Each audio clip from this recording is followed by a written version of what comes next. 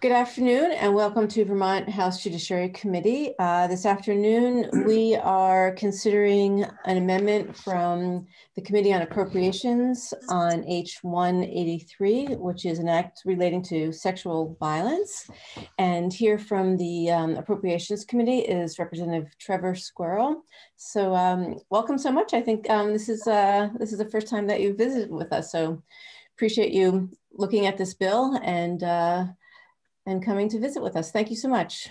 Well, thank you. And for the record, uh, Representative Squirrell, uh, representing the House Appropriations Committee. Excuse me. And I want to thank you for bringing uh, H183 to our committee. Uh, it's certainly a very important issue. Uh, we were uh, joined by Ledge Council and Representative Colburn in our committee. Did a great job uh, going through the bill.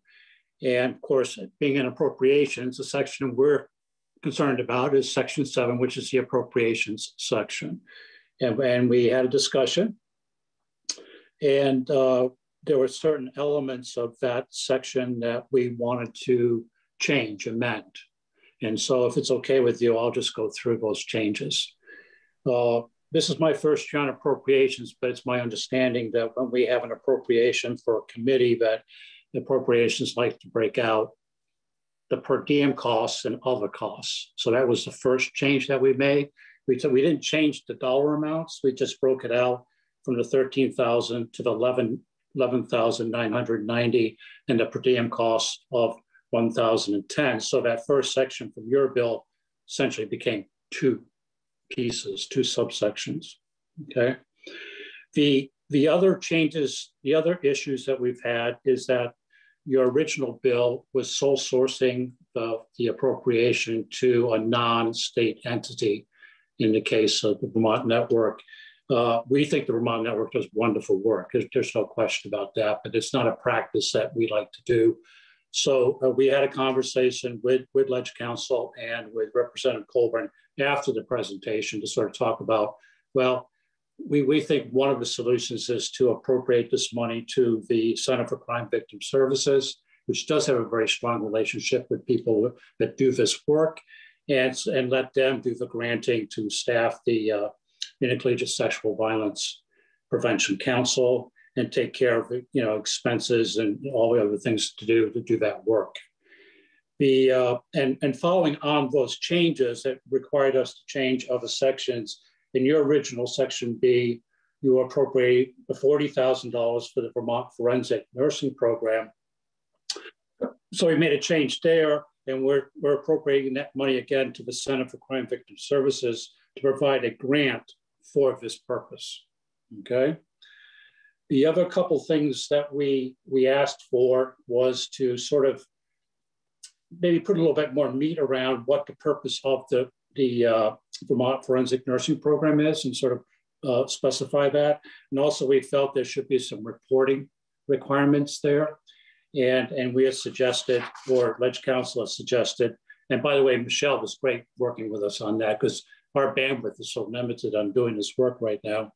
Uh, there was a call for report on before January 15th, 2022. And again, we, we swapped out Vermont Network for the Center for Crime Victim Services, but obviously they can do a designee or have somebody else make that report. That's, that's not an issue for us. And then a follow-up report on November 1, 2022 regarding how the program has worked. So in, in a nutshell, I think that's, that's the nature of the amendment. Yeah, now, by the way, the vote was 1100. Great. Well, thank you. Thank you very much. And, and actually, um, the um, I never heard the sole sourcing. I never heard that that um, that term, but it does make sense. And in, and um, in the past, we have seen the Center for Crime Victim Services be a, a pass through. So so this seems consistent. And um, yes. and I'll turn to um, to Representative Colburn in um, in a minute, but I know that she has been in touch with the with the network. and we I did also hear from the network who who does support who does support this change. So okay, great. I, yeah, so I, I certainly thank you because this is, this is really an, an important work and appreciate the the committee taking it at up um, at a late at a late hour and um, and getting back to us. So, um, Selena, do you want to add anything?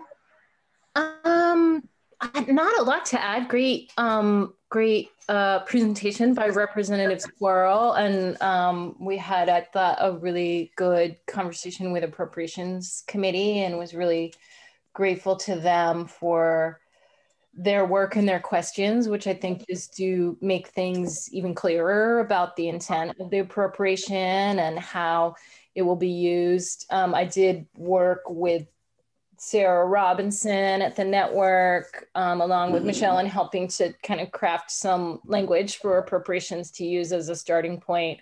And so, in addition to the network supporting this language, uh, has been run by Crime Victim Services Center, and they're supportive as well, and um, eager and happy to essentially play this role of um, kind of contracting out with the network. We did learn that they they um, usually take a kind of an administrative overhead and they had they we originally had tried to craft some language around that but um, they anyway the the network and the crime victim services center have kind of worked out behind the scenes how this will work. And so there won't be the usual my understanding is there won't be like the usual administrative overhead that they might otherwise charge here. That the, the amendment itself doesn't address that but that was good to hear. And um, yeah, I'm just very grateful to the Appropriations Committee for their work and their good questions and their support.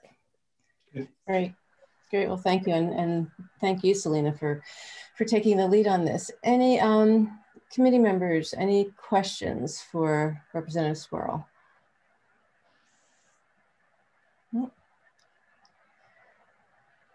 Not seeing any. Um, well, thank you. So I would entertain a um, motion to treat this as a favorable amendment and we can just do a show of hands. Uh, so if I could have a motion.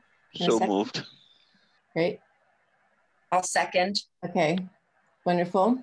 All those in favor of uh, treating draft 2.1 um, as a favorable amendment, please show by a raise of hands. Okay. All those opposed? Lower the hands. okay, great, great, well, wonderful. And uh, so Selena, you'll, um, so it's unanimous. I I'm just checking because I came in just a minute late to make sure everybody's here. Is anybody? Yeah, I think Kate, is Kate still here? She was here a minute ago. Yeah. Mm-hmm. Yep. Yep. Wonderful. Yep. Okay.